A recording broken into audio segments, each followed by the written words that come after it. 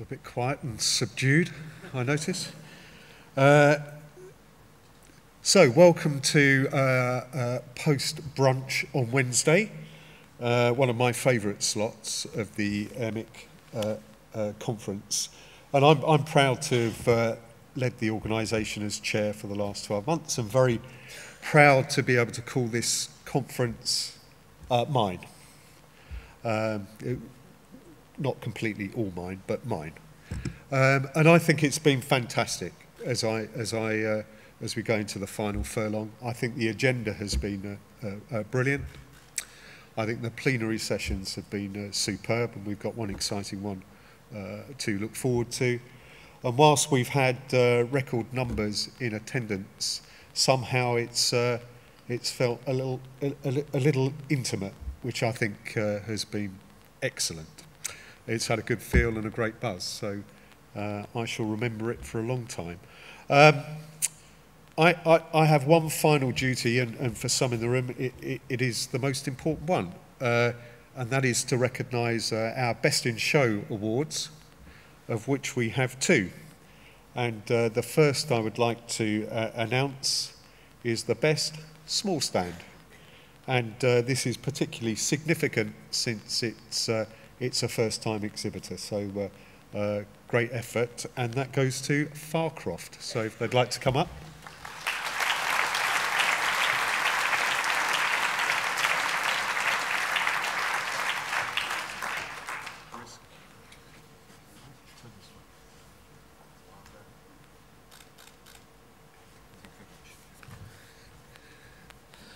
So that was the small winner, and we have a large winner.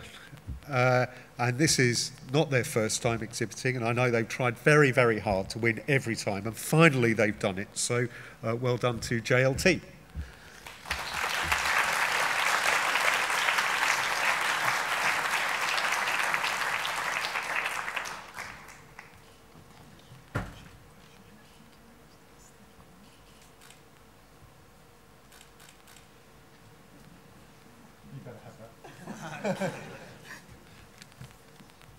Okay, well done. And there's some straws for the whole team. Um, so, just a final word uh, of recognition. Uh, I nominated to charity 12 months ago, about now, uh, and uh, they've been uh, handsomely supported throughout the year. Um, and it's made a game changing difference to them. So, I just wanted to thank everybody who's, uh, who, who supported me. And finally, last but not least, uh, this is it. I'm done. So I'm going to take my badge off, and there's somebody far better than me coming up now, and it's Clive Clark. So your new chairman, Clive Clark.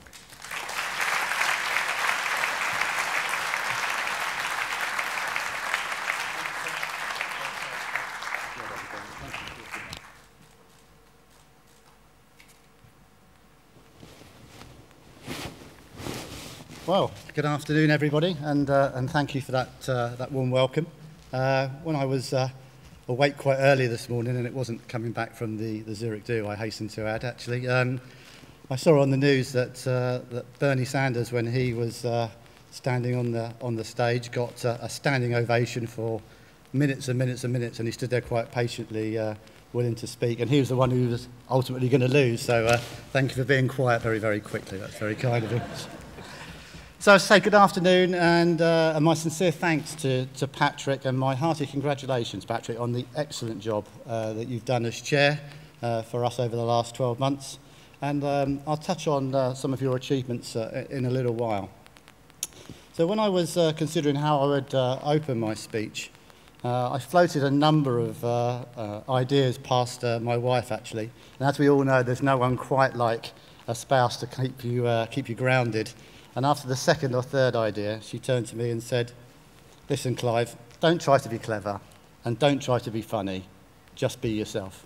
So you were in for the ride of your life, but unfortunately, not now. So.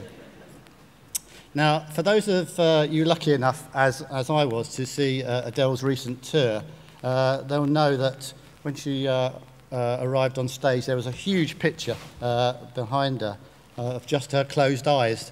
Uh, and um, as she started the, the words of her signature song, Hello, uh, the eyes opened, uh, which was a pretty a pretty clever, uh, clever trick. So it won't surprise, uh, won't surprise you to know that uh, unfortunately Airmic doesn't quite have the budget for that. And actually, uh, my eyes after last night's uh, Zurich Fest event uh, are probably a little bit too bloodshot to be, uh, to be honed in on. But uh, well done, guys, for that event. It was, uh, it was first rate as well.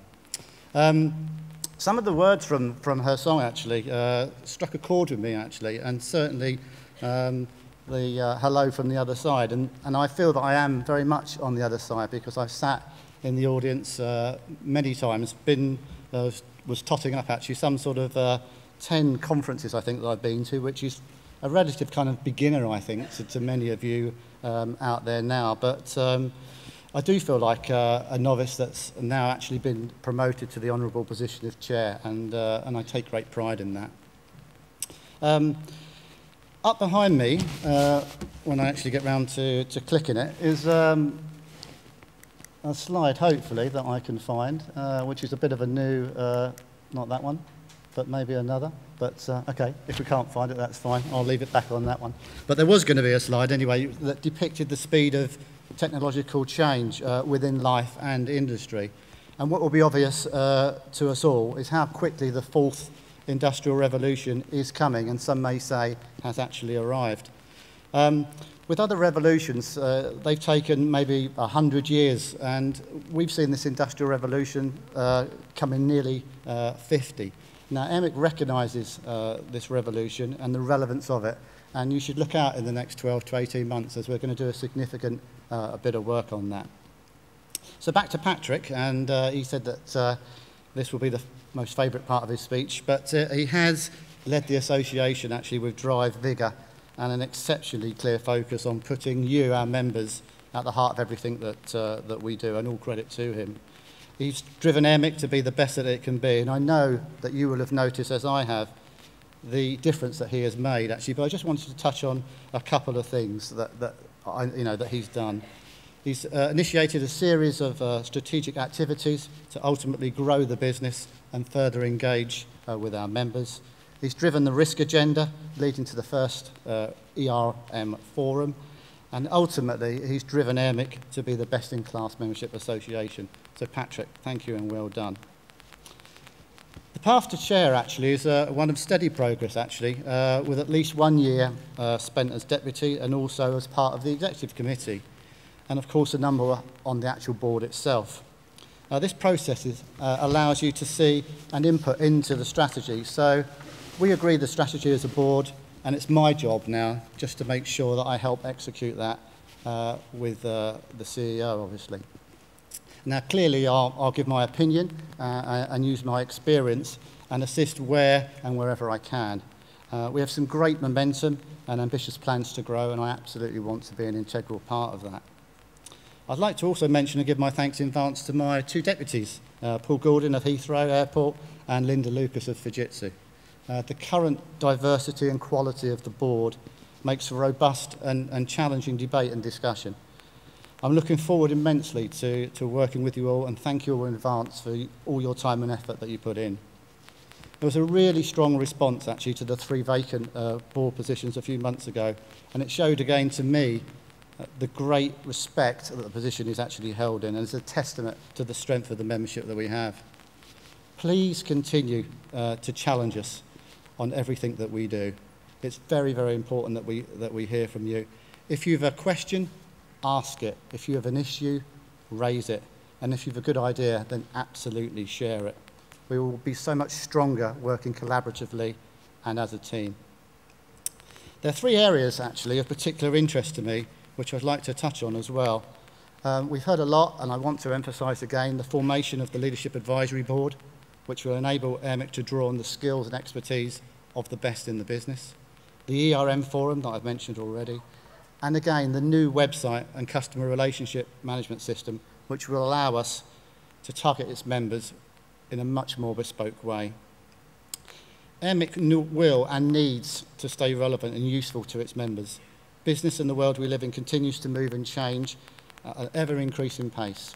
And you, our members, need to be getting the best technical papers and advice, the best networking opportunities, and keep up to date on the emerging risks. This must all be done against the backdrop of more stringent codes, legislation, cost and personnel reductions, and shrinking budgets in risk and insurance teams. AIRMIC is best in class for its technical work and will continue to be so. We will equip our members with everything they need for their careers, whether they are just starting out or as an integral member of senior management and reporting to the board. Our members need to be leaders and key subject matter experts in the business. And AIRMIC will also concentrate on some of the softer skills to help you achieve this. Our SIGs and committees will remain a fertile ground for industry discussion and problem solving. At AIRMIC, we are rightly proud of our technical guides, seminars and papers, which remain of the highest order, and under the guidance of Julia Graham and Georgina Oakes. My thanks also to Katie Moore for her contribution, and I'm also delighted to welcome her replacement, Kin Lee, to AIRMIC. I'd just like to take a moment again to recap and remind you of three of the papers that were launched at the conference. So they are the scenario analysis paper, and this will guide, this guide sorry, will present a simple framework for our members to lead scenario analysis within their business.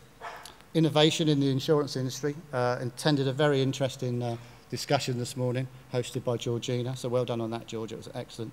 And this paper will identify the challenges and looks at how members might wish to take advantage of the appetite amongst our insurer partners. And lastly, uh, the use of insurance in M&A.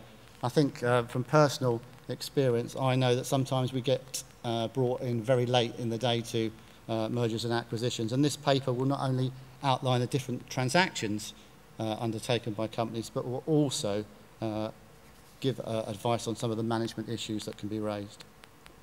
Now, some of you will be aware that John Ludlow, uh, ex of International Hotel Groups, uh, and now a risk management consultant in his own right. So a little plug for you there, John, you'll be pleased to know. So, um, should have been standing here, actually, uh, and probably doing a better job than, than I am.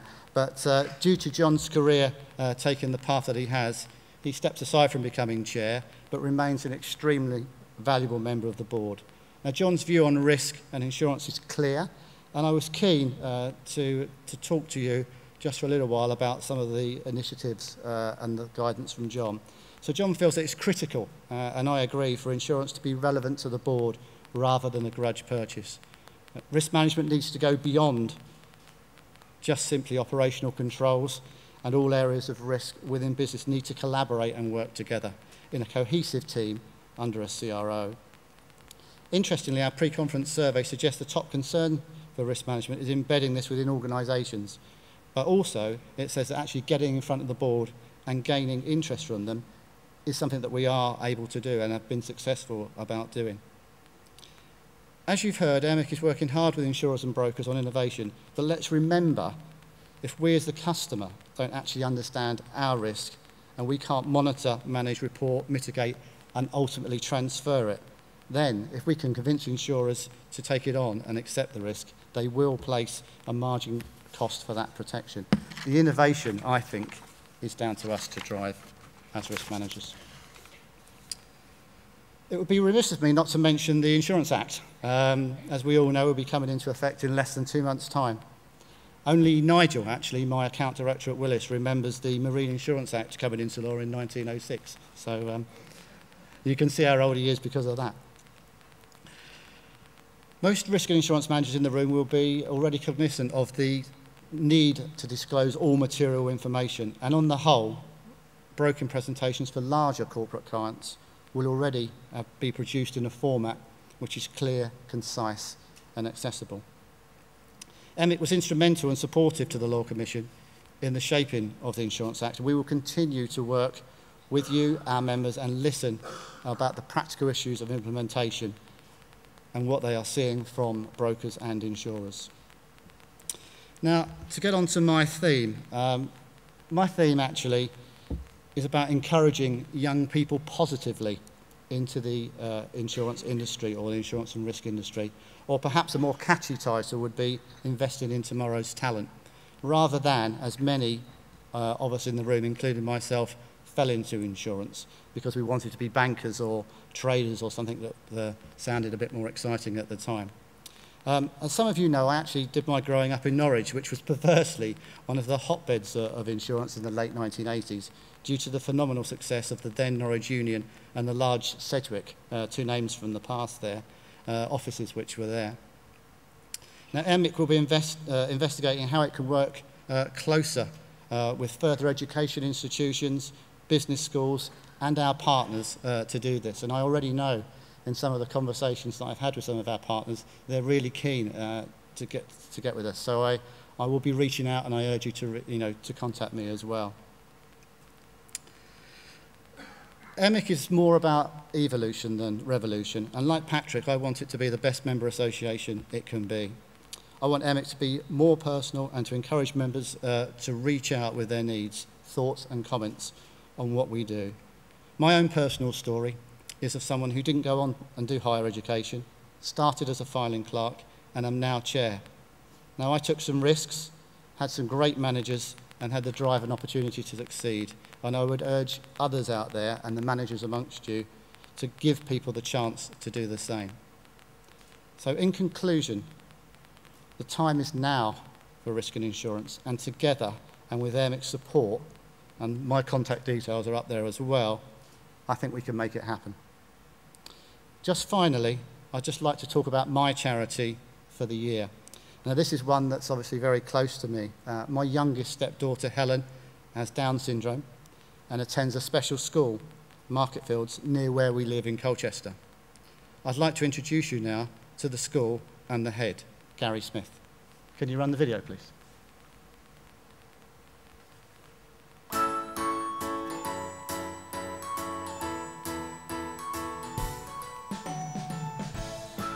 Hi, I'm Mr Smith and welcome to Marketfield School. Marketfield is a specialist school catering for children aged 5 to 16 with learning difficulties, autism and various other challenges. I'm head teacher here and have been for over 20 years now and I've loved every single minute. I really do have the best job in the world because of the dynamism and vibrancy the children bring to the school each and every day. After all, presence is more than just being there. We've recently been graded outstanding by Ofsted for the third time in a row I think that's because we concentrate on what the children can do and not what they can't.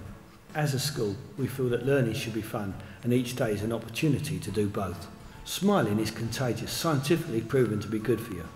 Our ethos is mutual respect and understanding and this sets the children on the right path for life. In 2015 we've got a new home. It's a purpose-built, state-of-the-art flagship school for specialist provision. This new building enables us to take the education we provide to the very next level. But it's the staff and children that make Marketfield so special. As the great Winston Churchill said, I'm easily pleased by the very best, and I'm very pleased.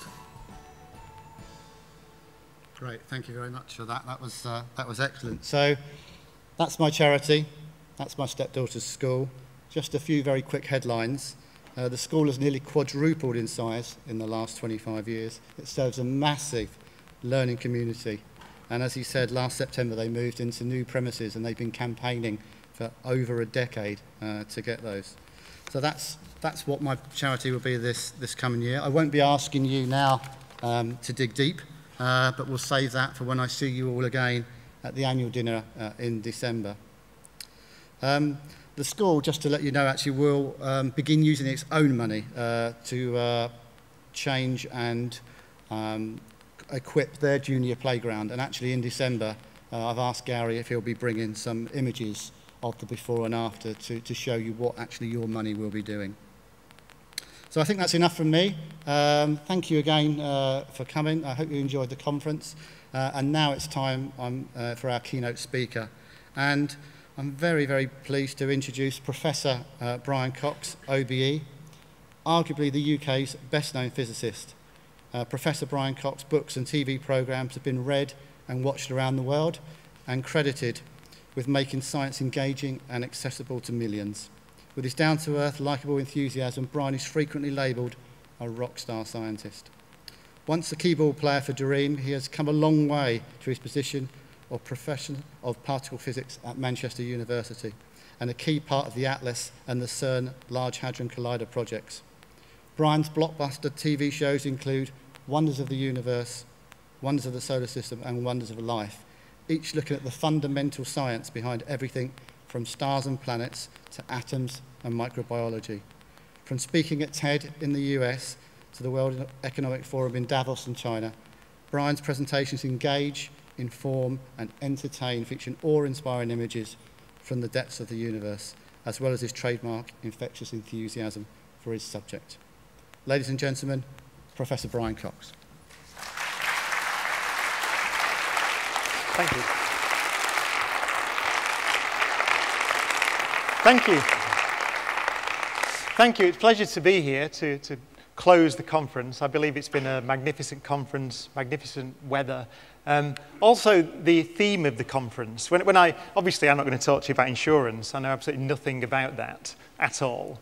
But um, when we talked about what I might be able to speak about at the end of this conference, the title was captured my imagination. New frontiers in risk, new frontiers in ideas, the risks and the benefits that new ideas bring.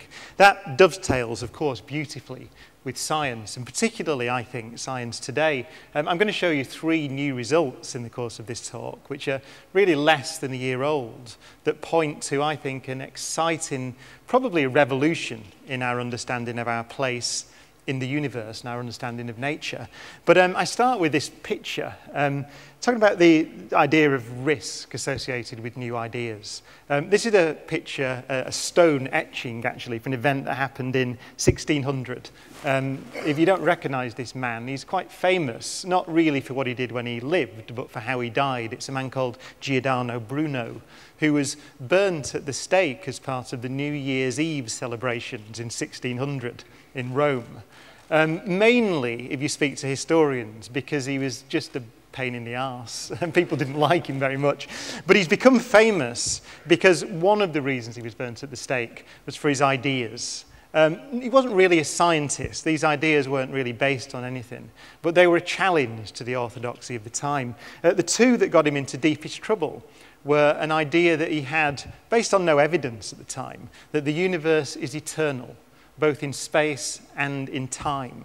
He didn't think, he believed the universe had no beginning, which is a, um, a romantic notion, and we're going to talk about that later on, actually, the current view of whether or not the universe indeed had a beginning. Was there anything before the Big Bang? That's current research now again.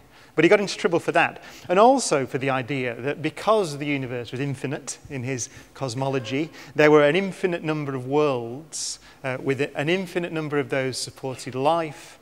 And he thought that all life on any particular world was transient. So he thought that the human race itself and all life on earth would be transient. Again, he was right in many of these ideas, but he had no real basis for them. He got it, there's a great story, it's almost Python-esque actually. You remember that in The Life of Brian where the guy gets stoned for saying Jehovah? And uh, John Cleese says to him, Don't say it again, you're only making it worse. And he says, How could I make it worse for myself?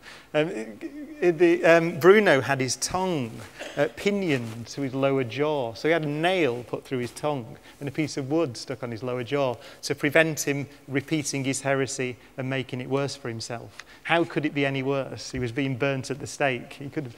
Anyway that was the, the backdrop, really, for the beginning of science. This is about the time of Copernicus, just afterwards, actually. So, really, the, the modern science was beginning to happen at this time, 1600. Wind forward only 87 years, and you have the publication of the first real scientific document, which is Newton's Principia. Uh, certainly the first time that mathematics and physics came together in a coherent framework. Uh, the most famous piece of Principia is Newton's theory of universal gravitation.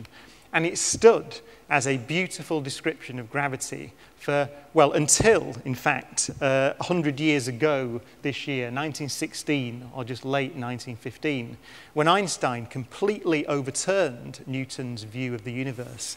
Um, this is instructive, I think. It's a very important point about science, about the, the reason for the success of science. Uh, Richard Feynman, the Nobel Prize winning physicist, described science as a satisfactory philosophy of ignorance. So, and I, I love that description. It's merely satisfactory, and it's a philosophy of ignorance in the sense that you never know anything for sure. The, the journey of a scientific theory is from completely uncertain to reasonably uncertain, but it's never considered to be absolutely right. The theory of gravity is a beautiful example of a completely disruptive thought, actually, um, that overturned the Newtonian way of looking at the world. Einstein called it the happiest thought of his life. Um, so what did Newton say? Newton, it's probably an apocryphal story actually, but he describes sitting in front, underneath an apple tree and an apple falling onto his head. And he described what happened as the fact that there's an attractive force between the earth and the apple. It accelerates the apple down, so it detaches from the apple tree and accelerates towards his head, pulled down by the force of gravity acting because of the presence of the earth. Einstein completely reverse that picture, even though it was so successful that essentially it found in modern science, it's successful enough, Newton's theory, to send spacecraft to the moon or to the outer reach of the solar system. It works, but Einstein overturned it with confidence from one happy thought um, 300 years after it was published, essentially. What's Einstein's picture and what was his happy thoughts? I'll just show you this picture of Einstein, but also in the middle there you see a man I'm going to talk about a little later, Georges Lemaitre, and a man called Edwin Hubble. These three great thinkers who really overturned our picture of the universe at the turn of the 20th century. Einstein was interested in free fall, in the way that objects behave under the action of gravity. As I said, Newton had described it absolutely beautifully and it worked perfectly. But Einstein didn't think the explanation of what was happening, of the apple being pulled towards the earth, was satisfactory. He didn't think it was all that there is. I'm going to show you a video, which if you saw my uh, series Human Universe was on a couple of years ago on the BBC, you may have seen it. Um, but it's a video of things falling under gravity. So pure gravity, if you like, when you take everything else away. So you see gravity, naked gravity, if you like. Um, by sucking the air out of somewhere and dropping things. Air resistance is what we tend to see when we see things falling under the action of gravity. And we did it by borrowing this place off NASA. This is the world's biggest vacuum chamber. It's in Ohio, actually. And it was built in the 1960s to test nuclear rockets. It's bigger than the nave of St. Paul's Cathedral and it costs $50,000 to pump the air out of it, which is probably why no one has ever played around and done this experiment before. It's an expensive place to play around. But NASA allowed us to pump the air out to watch, in this case, a feather and a bowling ball fall under the action of gravity. So that's what you see there, the feather and the bowling ball being winched up. And this is a slow motion, so a high speed video of that drop. So all the air's been pumped out. You're seeing the force of gravity acting in its purest form. And you see, it's quite shocking, although we all know what will happen. We remember from school things fall at the same rate in a gravitational field. But it's interesting and surprising to see feathers and a bowling ball behaving like that, and you see hitting the ground at precisely the same time. Beautiful video.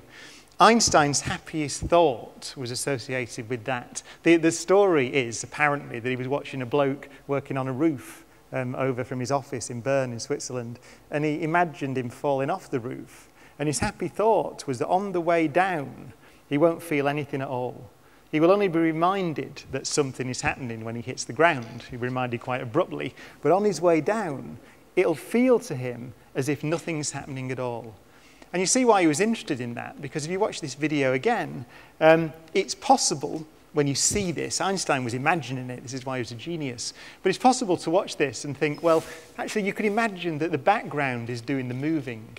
Uh, the fact that those things move in the same way as they fall to the ground would be easy to explain if they weren't moving. If there were no force acting on them, if they were just sat there minding their own business, that's exactly what it looks like. And it's the ground that's doing something. And that's why everything meets the ground at the same time under the action of gravity. That was the happiest thought of Einstein's life. Completely the opposite. Uh, Newton, if you remember, said that there's a force pulling an apple down, it hits me on the head. Einstein said, no, uh, the apple is floating, minding its own business, and Newton accelerated up to headbutt the apple. It's completely the opposite. Bold, hubristic almost idea.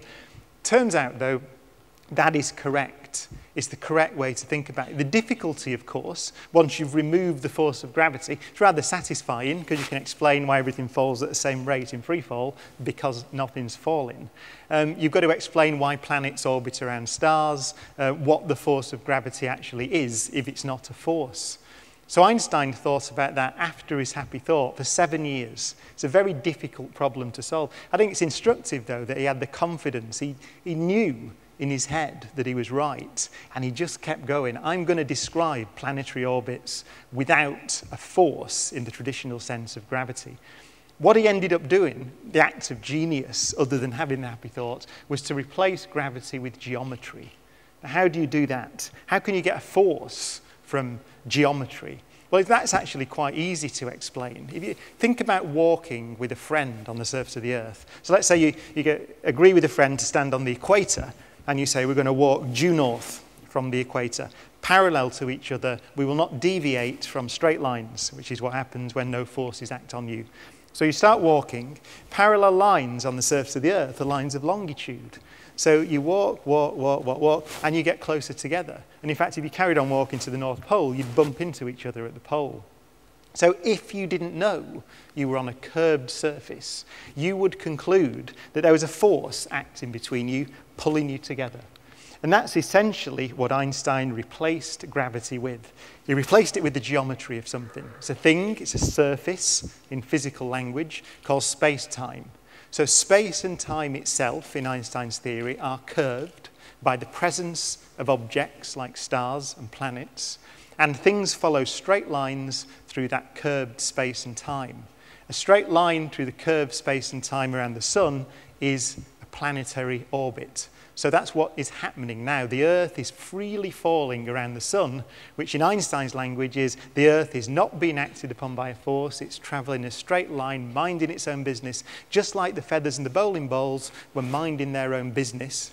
And there's something to do with the curvature, the geometry of space and time around the sun that makes it go around the sun, that binds it to it, which is a kind of interesting idea. You can see, I hope, the framework but it's obviously difficult to realize in practice. That is the realization of it seven years later. That is Einstein's theory of general relativity. Many physicists consider it to be the most beautiful theory ever written down, one of the, most, the greatest products of the human mind. It might be the surprising or scary or familiar, depending on your, your mathematics and what your uh, experience of mathematics was at school, perhaps, or at university. But it's actually quite a simple thing. It tells a story this is all there is to gravity. On the right-hand side of the equation, you'll see the thing that says T, and then the two Greek letters mu and nu. That's the distribution of matter. So for a solar system, uh, you would put a spherical distribution of matter in there, plug it in, and the other side tells you the curvature of space and time. In other words, the story of the solar system, the paths that planets will take. Einstein did that in 1916 after publishing this equation, and he found that it described the orbit in particular of the planet Mercury more accurately than Newton's laws. So therefore, it is a better theory than Newton's. It describes nature more accurately. But then, he did something audacious. This is where we get back to the theme of this kind of audacious, revolutionary thinking, shaking up um, not only industries, but actually, in this case, whole civilizations and the way they see their place in the universe. Einstein wrote to a friend of his, actually, in 1916, and said, I'm going to do something now. This is, he'd already had this triumph of describing the orbits of the planets with this picture. But he said, I'm going to do something that's audacious, and I think it might consign me finally to the madhouse. He thought it was so ridiculous that he may be considered insane, and he was worried about it, but he did it anyway. Um, and what he did was he said, well, okay, so if I put a spherical distribution of matter, a star, into the right-hand side, fine, it gives me the orbit of a solar system.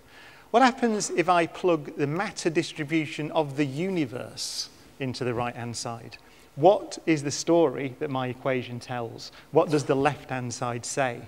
And he did it. And I, at the same time, in fact, a Belgian priest called Georges Lemaitre had the same idea, and he did the same thing. The story that comes out when you do that is essentially this one, which is a schematic representation of the story of the universe uh, in modern language. The idea there was a, an origin of the universe 13.8 billion years ago, and the universe, has, the universe has been expanding and cooling ever since. The universe started simple and has expanded and cooled. Uh, complex structures like planets and stars and galaxies, and indeed civilizations and people, sort of crystallized out in the expanding, cooling universe.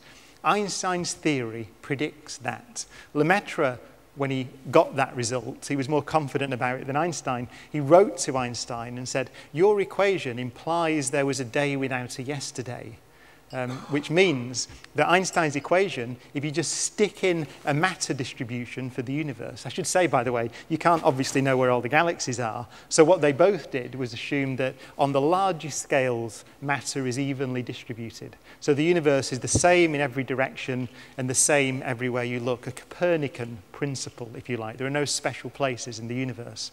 With that assumption, you get that story out. So Lemaitre wrote to Einstein, and said, yeah, there's a day without a yesterday. And Einstein wrote back to him and said, your mathematics is excellent, but your physics is lousy. And the reason he said that was because he didn't like the idea of a moment of creation. It really, for some reason, Einstein was philosophically opposed. He wanted the universe to be eternal in the way that Giordano Bruno had emotionally wanted the universe to be eternal. So Einstein fiddled around for a while. He put a different term into his equation called the cosmological constant, which is in there actually, it's that capital lambda, um, in order to try and make a balanced universe. You can't. Einstein's theory of gravity will not allow you to have a static universe. If you put matter in it, it's got to expand or contract. It's not stable, and that implies there was a beginning. It's a tremendous story because when this was predicted and when Lemaitre and Einstein realized, no, it's right, this equation itself which I remember he thought about a bloke falling off a roof, and that was inspiration for writing down the equation. The equation itself predicts there was a beginning and there's nothing you can do about it. It's the first instance of the Big Bang in modern thought, and it was entirely theoretical. We didn't even know at this time that there were other galaxies beyond the Milky Way, let alone that those galaxies were rushing away from each other. Edwin Hubble, who I showed at the start, discovered that two years after the prediction the experimental verification began to come. So it's quite a remarkable story. And if you think what we've learned since, this is 1927, 1928, not long ago, just 80 or 90 years ago. Now we have precision measurements of the size and scale of the universe, and we sort of accept that story. Um, I wanted to show you this, which is a visualization of our most high precision map of the local universe. It's called the Sloan Digital Sky Survey. So every point, obviously you can see them here, is a galaxy. It's a mapped point of a galaxy, so the data's real. Um, obviously it's a computer fly-through, but the positions of the galaxies are real. And you see that there's a, a snowstorm of galaxies. When you think that every one of these galaxies has, on average, 100,000 million suns in it, and we now know that virtually every one of those will have a solar system around it with planets orbiting around them. And you see that there are rivers and flows of galaxies, a snowstorm of galaxies. We uh, have measured that there are of order 350,000 million galaxies, 350 billion galaxies in the observable universe. And the observable universe extends, oh, the real universe extends way beyond the bit that we can see. How far? We don't know. It could be infinite in extent. And I'll get to that actually at the end of the talk. How big could reality, could the universe really be? But you see that even the bit we can see is kind of big enough. There's plenty of room. Um, one of the great challenges, actually, in modern cosmology is to work out why those structures are the way they are. Why are there clumps of galaxies? What is the origin of that clumping? I'll mention that as well at the end of the talk. But you see, it's a remarkable step. This is in one human lifetime, from knowing of only one galaxy, the Milky Way, the one that we're in, and not knowing whether the universe had a beginning or not, to building a theory that describes the beginning, to understanding that there was a Big Bang, and then to mapping the observable universe. And because that was a visualization, I want to show you a real picture, just to underline this sense of scale of reality as we know it now. This is, if you're an astronomer, you'll know this picture. It's one of the most famous pictures in astronomy. It's called the Hubble Ultra Deep Field Image. So it's taken by the Hubble Space Telescope. And it's an image of a piece of sky you would cover if you took a five pence piece and held it about 70 feet away. So imagine a tiny piece of the night sky, um, chosen uh, for this image because there's nothing bright in it from the surface of the Earth. So no bright nebulae, no galaxies, nothing spectacular. But the Hubble took a, uh, well, over many years actually, it's been going back to this piece of sky, taking long exposure photograph after long exposure photograph. And this is the latest publication of it There are over 10,000 galaxies in this image. Remember, five pence piece, 75 feet away. The most distant, which are the redder ones, are over 13 billion light years away. which means they formed really shortly after the Big Bang. So the light from many of these galaxies actually began its journey to us, traveling at 186,000 miles a second before the solar system was formed. It's only the closest ones that the light has had time to travel to in four and a half or five billion years or so. So again, the scale of the reality we've discovered in the last hundred years has been remarkable. But Bruno's challenge still appears to be incorrect. Um, it looks as if uh, Einstein's theory predicts that there was a beginning. Um, we have experimental evidence there was a big bang. I'll mention some of it a little later on. And we, don't, we only know still, to this day, of one world which harbours life. Um, I'll get to that as well. Just one more thing, though, before I move on to life in the universe and the origin of the universe. I thought I'd just mention a bit of, I told you I'd mention some new data just because it's exciting. Einstein's theory, as I said, 101 years old this year, came out of the mind, really, of one physicist. It's very unusual that physicist, physics is usually a, a communal uh, sort of uh, pursuit involving many people. Einstein wasn't that.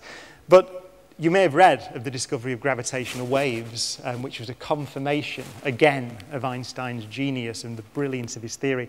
Let me just mention what that was. It was made by an experiment called LIGO, which is actually two experiments, or two pieces of measuring apparatus. One in Louisiana, which is this one, and another one in Washington state, the other end of the United States, which is this one. They're both identical. They're basically rulers made by laser beams, four kilometers long at right angles to each other. So you see them there. Um, their job is to measure ripples in space and time. Ripples in space time caused by violent events somewhere out there in the universe. So, quite literally, um, when something happens, when masses move around in the universe, you get ripples in that fabric, the geometry of which is what Einstein calculates. And they move along at the speed of light, like ripples on a pond when you throw a stone in. And if you have very accurate rulers, you can detect them. So the idea of this experiment is you'd see something, this ripple in space and time, uh, that actually Kip Thorne, one of the theorists who, who thought up this experiment, called it a, a storm in time. So you see a storm in time coming from some event. It passes through, let's say, Washington State first and moves the rulers, changes the, the rate that clocks tick as well as distances as it sweeps through these laser beams. And then it passes through at the speed of light, so a little time later passes through Louisiana, and you see a signal and you see a signal. So you know it's not local vibrations or anything, you know it's cosmic because you can measure the time difference between the signals. What these experiments did last year was measure a very violent event, and this is a plot from the paper they published actually. They measured the collision of two black holes, that's what they observed. Now, these black holes were big black holes, about 30 times the mass of the sun, each one. 30 times the mass of the sun, compressed and collapsed into something, well, essentially, as far as we know, a single point, so smaller than that, 30 times the mass of the sun, orbiting around each other, spiraling in towards each other. One of the interesting things about this, if you look at the scale on the graph, it says time, you see it says 0.3 of a second to 0.4 of a second. So this happened in one tenth of a second.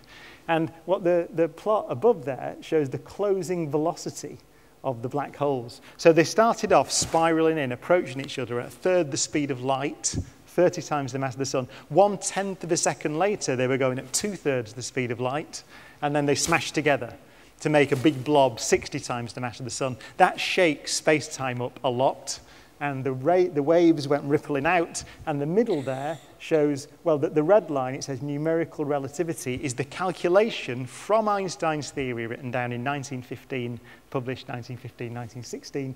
And the grey thing is the observation of the storm in time that passed through these detectors. And you see it's a perfect description. So another triumph of Einstein's theory. The other thing to say is that this is the beginning of a new phase in observational astronomy because we can see things that you can't see with light alone. The whole history of astronomy has been observing light from things. Dust obscures that. The early universe obscures that. So we'll get to that in a minute. Um, but these gravitational waves pass through everything. So the possibility is there to observe events that happened at the Big Bang, at the origin of the universe by measuring the gravitational waves. So it's a terrific, very important measurement. So I mentioned that Bruno's challenge seems interesting at the moment. We seem to have a finite universe, certainly in time, and we only know of one planet where there's life. We're talking about disruptive ideas. Um, paradigm shifts, essentially. One of the great disruptive changes, I think, in astronomy over, over my lifetime has been the realization that there are worlds out there which can support life, not only around distant stars. We now have measured that there are order 20 billion planets that are potentially like Earth in the Milky Way galaxy alone, using a tele telescope called the Kepler Space Telescope. But also that even within the solar system, there are habitats for life. And I just wanted to show you one recent measurement from October last year by a spacecraft called Cassini that's uh, revealing that even the most barren little lump of rock, or one of the most barren in the solar system, might be a candidate for having living things on it today in our solar system. I'll show you this picture, by the way, because this is when I was born. It's my first Christmas Eve, 1968, Apollo 8 on its journey around the dark side of the moon. The moon looks barren, the earth, this is the famous Earthrise picture, the earth looks blue and inviting in the distance. This idea of barren rocks other than the earth was absolutely the paradigm when I was born in 1968 because we hadn't been beyond the solar system, oh, well, sorry, beyond the Earth very far. We'd been to Mercury, we'd had a look at Mars very briefly. We hadn't been to the outer solar system at all we started to go into the outer solar system in the mid to late 70s with the Voyager spacecraft essentially launched in 1977 and when we got there we found uh, worlds that we couldn't have imagined. They were nothing like the dead, barren moon, that paradigm of moons being lifeless that we'd imagined before. This is one of the, every picture you look at from Cassini is remarkable. Uh, this is one of the more recent ones, Saturn and its rings. Those rings are water ice, by the way. They're about 100,000 kilometers across, but about two meters thick. So they'd comfortably fit into this auditorium of end on, where they'd stretch out 100,000 kilometres. It must be a remarkable sight. Seeing their cast in a shadow onto the, the gas giant Saturn. But this is one of the pictures that Cassini returned in October last year. Um, it's a picture of a spectacular picture of a moon over the plane of the, of the rings. Uh, that moon is called Enceladus. It's a small object. It's about the size of Wales, actually. So a very, very small little rock in the frozen reaches of the outer solar system. But when Cassini zoomed in and looked at it, it found something very interesting. Um, it found these features which are called tiger, tiger stripes, which seem to be active geological features on its surface. So you see them as blue there. They look like fault lines. And when Cassini flew close in over Enceladus, which it's done several times, but the last close flyby was in October last year, it took pictures like this. So this is a flyby over that moon. Again, quite a small rocky object any astrophysicist 20 years ago would have said it would be an inert thing. But actually, as you see, there's geological activity. Those are eruptions of water, ice. So they're liquid water being ejected out into space through those tiger stripes and uh, freezing as soon as they go out. There's actually so much material ejected from this moon that it forms a ring around Saturn called the E-ring, uh, the Enceladus ring, as it were. So what are those things? Well, Cassini has been able to measure what's been happening in those eruptions, and this is the new data. It turns out there are particles called, well, silicon nanoparticles, silicate nanoparticles in there, which form in salt water when hot water meets rock in a saltwater ocean. That's how they form. Also, simple organic molecules have been discovered in these things. The spacecraft was not designed to make analysis like this, so we don't know in detail what's in there. But it looks, for all the world, like those are coming from what structures called hydrothermal vents.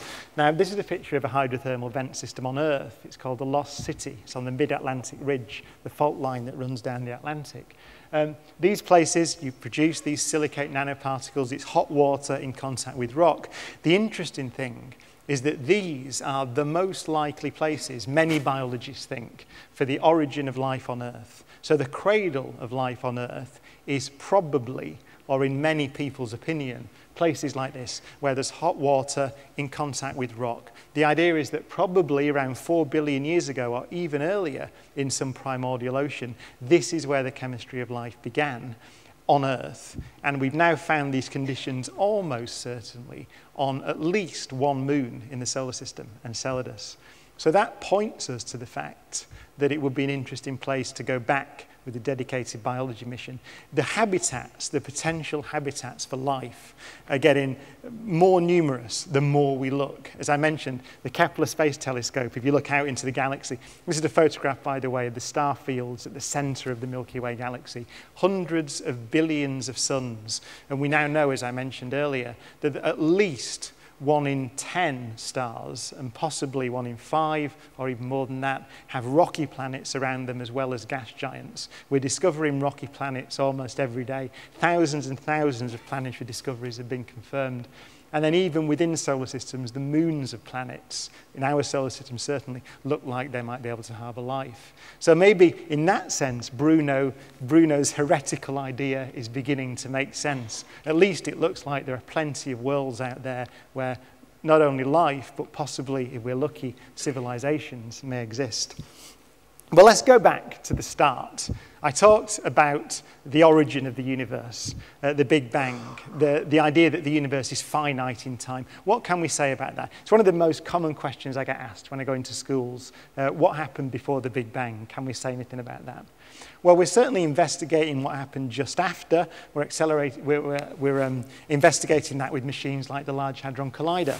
So you'll have heard about the LHC, of course. It's very famous for the discovery of the Higgs particle. Here it is, 27 kilometers in circumference. Uh, it sits between, most of it's in France, actually. The bottom half of this is France, but the top half is Switzerland. That's Geneva Airport runway at the top, 27 kilometers in circumference. Its job is to accelerate particles to 99.999999% the speed of light collide them together 600 million times a second. In each of those collisions, you recreate the conditions that were present less than a billionth of a second after the Big Bang so we can investigate the physics. And that's what we've been doing for several years now. You know that we discovered this interesting Higgs particle there. Also, um, just mentioning spin-offs. I haven't mentioned spin-offs yet in the, the quest for understanding the universe. I just wanted to show you this because it's interesting, unexpected ideas coming from unexpected places. Uh, this is a friend of mine who's the press officer at CERN, collects old documentation, and this is one of his favorites. It says Information Management, a Proposal. You see that it's written by this bloke, Tim Berners-Lee. It's, uh, what is it, March 1989. The interesting thing about this, when we're talking about assessing the possible impact of new ideas, is his manager wrote vague but exciting on it and gave it back to him. So he didn't really know what this thing was going to be. This is the first proposal for the World Wide Web, of course, which has revolutionized all our lives. But it came from a very modest idea to share data between particle physicists. But the reason I wanted to mention CERN is to show just one little, one graph which is a so-called preliminary result, um, which was published last year, so it's a public result, um, but it's extremely interesting. We're taking data now at the Large Hadron Collider, and we hope to confirm whether this little result is real or not. What you're looking at here is a plot, which is essentially we're looking at two particles of light being produced in these collisions, and what you're looking for is a bump in the data because bumps signify new particles. And you see that there is a bump. You can just see it there. It's around the 800 on the, on the scale on the bottom there. That bump signifies potentially a new particle, uh, way heavier than the Higgs particle, in a completely different region. Completely unexpected. On this preliminary result alone, there have been over 200 different theoretical papers published suggesting what this might be. Now, it's important to say this isn't confirmed yet. We need more statistics. It could be a statistical fluctuation, but it's, very, it's interesting enough for many people to think, well, there's a hint of something. What could it be? Really genuinely unexpected. It's an example of going into the unknown with a piece of scientific uh, apparatus and just searching for the sake of it. If this is there, it could be anything. It's one of the classic signatures of extra dimensions in the universe, for example. The idea there are not three dimensions of space, there are more dimensions of space than that four, five, six, and we just can't see them. This is one of the signatures. Also, it's one of the classic signatures for something called dark matter, particles that we suspect very strongly are out there in the universe, but are not the particles out of which we and the stars and planets and galaxies that you can see in the sky are made out of. We don't know.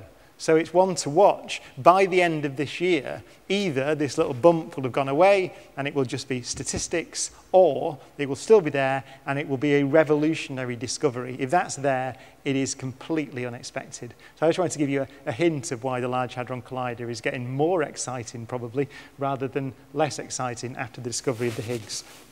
In the last minute or so, or two minutes maybe, I want to go back to that Big Bang. What happened before the Big Bang? Let's see if we can rescue Giordano Bruno. And this little picture, I've showed it several times, is the origin and evolution of the universe. The interesting bit from our perspective is that thing that it says afterglow, afterglow light pattern, 375,000 years after the Big Bang. The idea is that as the universe expanded and cooled, before that time, it was too hot for atoms to form. So it was in a form which is called a plasma. So it was too dense for, it was too hot for atoms to form, which meant that light couldn't travel through it. It was too dense, essentially, and electrically charged for light to travel through. So light didn't have a long path, so the universe is opaque. So we can't see anything before that time using light. After that, at that moment, as the universe cooled and the atoms formed for the first time, the universe became transparent, light could travel through it, and it's been traveling through it ever since. And so we can take a picture of that moment with satellites. There's one called the Planck satellite that's up there now, and this is the photograph that it took, the latest photograph. So this is, if you like, it's a, it's a picture of the entire sky, which is why it's that shape. It's like the celestial sphere. So it's a sphere um, unrolled out like a map of the Earth. And it's a baby picture of the universe, essentially, the oldest light in the universe. What you're looking at there are regions of different, very slight different density in the early universe, as it was about 380,000 years after the Big Bang. So the red regions are slightly denser than the blue ones, very slightly. It's actually uniform to one part in 100,000. So it's extremely, it's what physicists would call homogeneous. Very, very smooth, very, very similar, but with tiny different variations in density across the universe. Those are important because they led to the formation of the galaxies. So all those structures that we saw in that Sloan Digital Sky Survey fly-through of the data of the galaxies can be traced back to density fluctuations in the early universe. And remarkably, when you do computer simulations, so you stick this in and use Einstein's theory of general relativity and wind time forward from this point, you get a distribution of the galaxies from this data that matches what we see in the sky. So we understand beautifully how those galaxies came to be the way that they are. It's a remarkable triumph.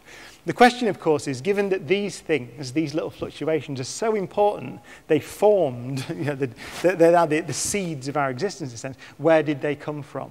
And the answer is that we do have a theory where they came from. And in my last minute or so, because I'm just overrunning a bit, I'll tell you what it is. It's called inflationary cosmology. So the idea is that we can trace the universe back to when the entire observable universe, with 350 billion galaxies in it, was compressed into something not only smaller than an atom, but about a billionth of the size of an atomic nucleus. That's how good our theories are.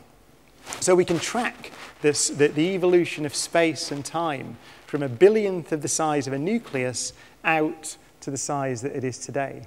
Um, what happens when things are a billionth the size of a nucleus is quantum theory takes hold. You get little ripples, everything's popping in and out of existence all the time in accord with quantum theory. Those ripples, according to the theory, got frozen in to space and time when the universe expanded exponentially fast in a time before the Big Bang. And when you put that theory into practice and do computer simulations, you get out a distribution of ripples in the universe that matches this precisely. So it works, the theory. It tells us the universe was doing something before the Big Bang. The Big Bang is an event in a pre-existing universe. So the universe is expanding exponentially fast. That exponential expansion stops for some reason. And in stopping, the energy that was driving this rapid expansion of space and time apart gets dumped into the universe. That's what you see as the Big Bang. It heats up, and the particles out of which we are formed today get formed at that point. So then the question becomes, okay, so that works, it matches the data. How long was that thing going on for? We have a measurement back to the time when that stopped. It's called inflation, and that's our 13.8 billion years. How long was the inflation going on for? The answer is we don't know. Uh, we don't have a measurement of it. We have a minimum time, and it's something like, in scientific language, 10 to the minus 35 seconds. So that's 0.0035 noughts, one of a second. So not very long. So there could have been a mother of all big bangs that somehow started that off. But Some of those theories suggest that that's not right, that's a minimum time. In fact, some of those theories suggest that maybe that thing could have been going on forever. And more than that, it doesn't just stop all at once, it stops in patches. So that would suggest that our Big Bang was a tiny event in a pre existing universe and only in a patch of that pre existing universe. The rest of it carries on expanding exponentially fast, and then some other patch stops doing that, and you get another Big Bang and another Big Bang and another Big Bang and another Big Bang. So this in, is called an inflationary multiverse. These theories suggest that there isn't only one pocket of the universe like ours, but in fact there are an infinite number of pockets of the universe. They're still being produced now, and there will be an infinite tree of universes that essentially could be eternal. That process of the creation of universes could go on forever, which is back to Bruno again. It's a very interesting theory. The interesting thing is, though, it makes predictions that, whilst not fully tested, can be tested by data like this. So Bruno may have been right. The universe might be eternal. There might even be an infinite number of not only worlds, but an infinite number of universes. Let me leave you with this. We've got a bit of time for questions. But when thinking about these things, we might live in an infinite sea of universes that's been around forever. Uh, what does that mean for us? John Updike, one of my famous authors, once said that um, cosmology, astronomy, is like theology, but the terrors are less, but the comforts are nil. I'll leave you with that. Don't take questions, but thank you very much.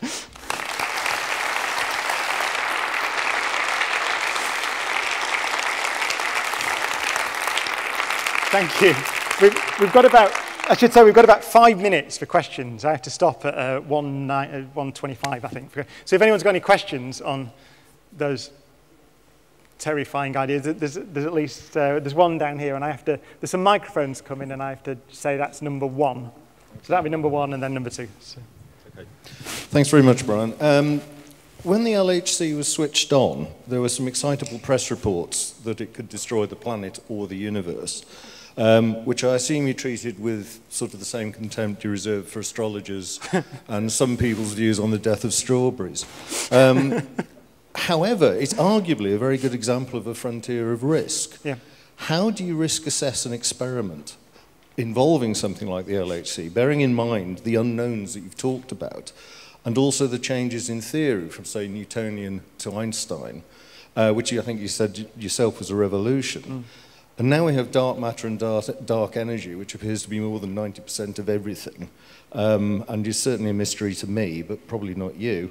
Um, but how against that do you assess risk? It's a good question. And, so, sorry. Oh, yeah, it's a very good question. And the answer is that there are two ways, but the main way is data.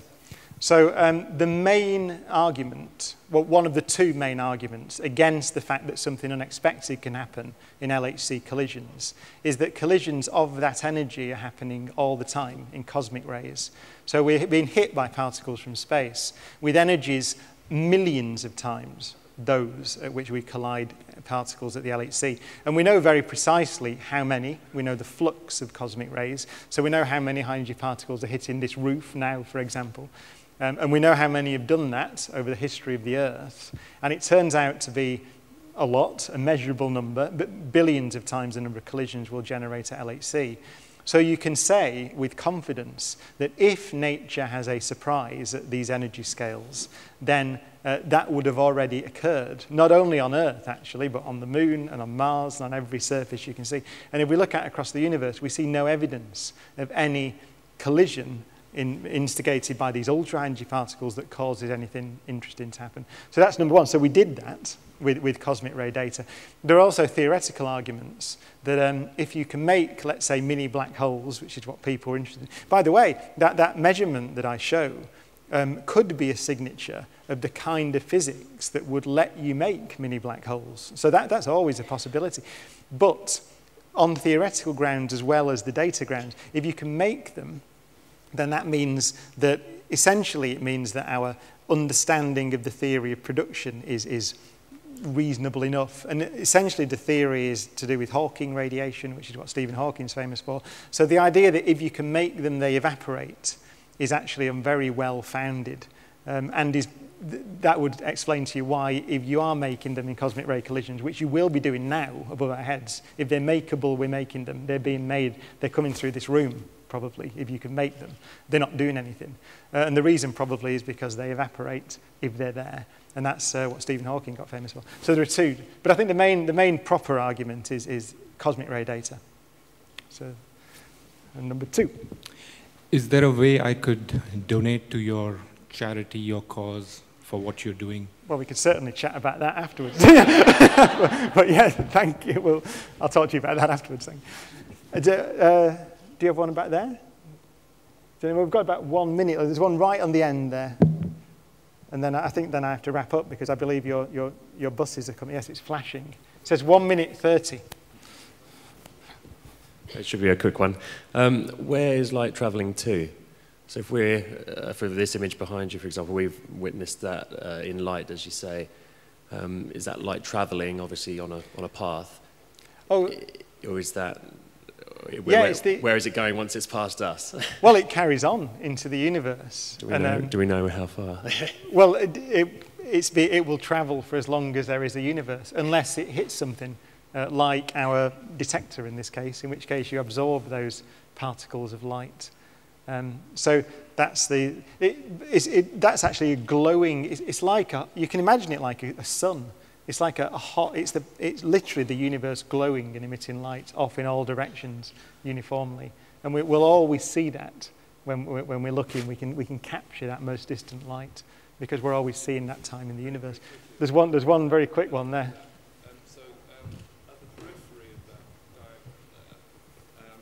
just, uh, I'll just get the, the...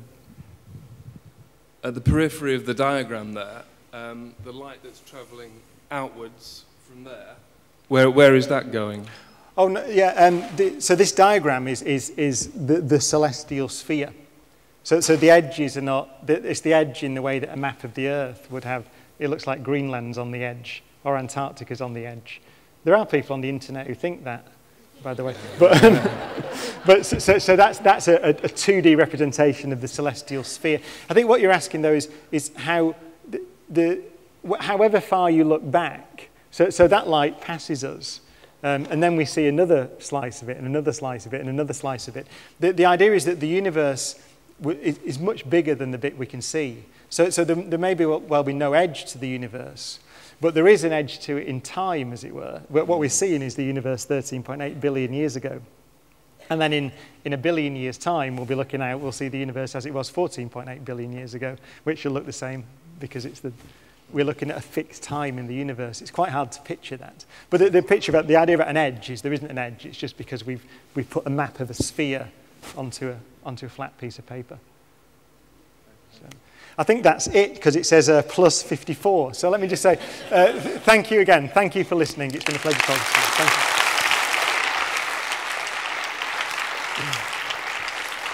Thank you. Thank you.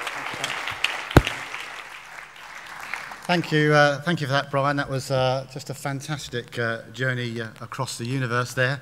And it only remains for me to say that our journey for next year is not quite that far. Um, it's in Birmingham from the 11th to the 14th of June. And uh, the same pride that uh, Patrick had about this conference, I look forward to having at that conference. So safe travels, everybody, and look forward to seeing you all again soon. Thank you very much.